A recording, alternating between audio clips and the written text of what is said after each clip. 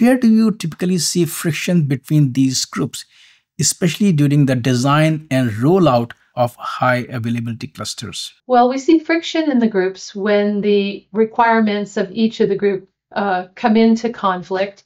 For example, the application owners are responsible for keeping critical applications up and running. And so the SAP team or the Oracle team or the SQL Server team uh, have to keep those systems up and running.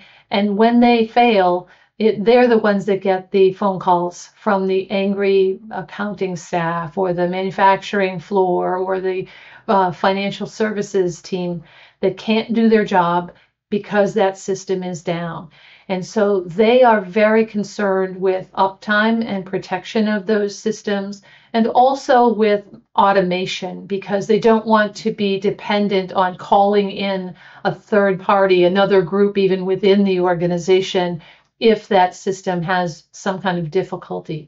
So the application owners are very concerned with uptime and availability, whereas the infrastructure team is tasked with uh, TCO, with total cost of ownership. Their real goal is to make sure that everything is very efficient, that every penny spent on their infrastructure pays back in dividends, and that they're they're not overspending on anything that isn't run as efficiently as possible.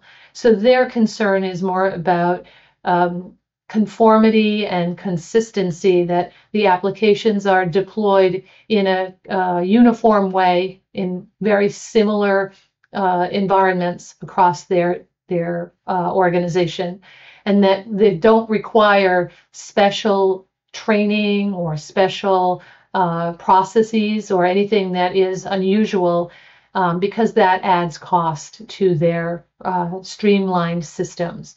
And so those are the two uh, areas that they are, those two groups are advocating for, and those can come into uh, direct conflict when it comes to a high availability environment.